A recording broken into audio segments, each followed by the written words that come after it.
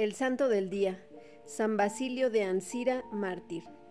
A mediados del siglo IV, cuando arrianos y semiarrianos propagaban sus herejías, Basilio era un sacerdote de Ancira, un hombre santo que había sido formado en la verdadera doctrina de la Iglesia Católica, por el obispo San Marcelo.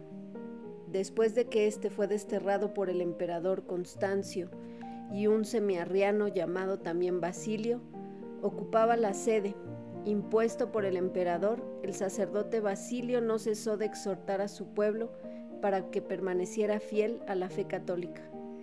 En 360 los arrianos radicales obtuvieron el dominio y no solamente depusieron al obispo semiarriano, sino que ordenaron la degradación de San Basilio, al que prohibieron asistir a las asambleas religiosas.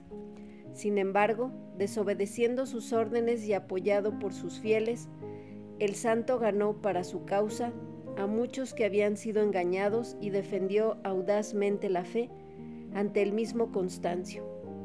Cuando Juliano el apóstata llegó al trono, la persecución abierta cesó temporalmente, pues el emperador confiaba en emplear métodos más sutiles para combatir a los cristianos y minar su fe.